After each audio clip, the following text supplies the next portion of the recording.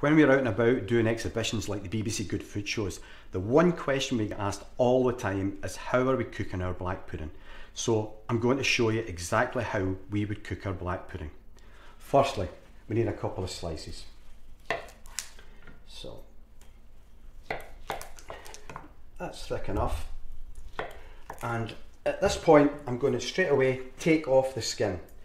We don't need the skin in the black pudding will keep its shape and you know how big a nightmare it is to try and take that off once it's been cooked.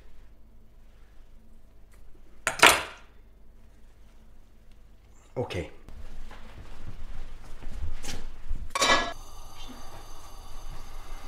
Okay, so I'm going to cook the black pudding in a dry frying pan. That's important for us. It works well and it means that the, the, actual black pudding will start and crisp up, caramelise round the edges and still stay nice and soft and gooey in the middle.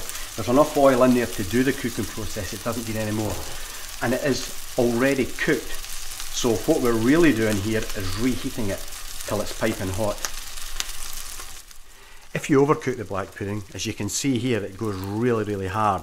So instead of being nice and soft in the middle and caramelised around the edges, it is like an ice hockey puck. Now that it's ready, let's see if I've done this correctly. If so, it should be nice and crisp on the top and the edges, which it is, so that when we cut into it, it should be nice and soft and gooey. And I think I've got it right.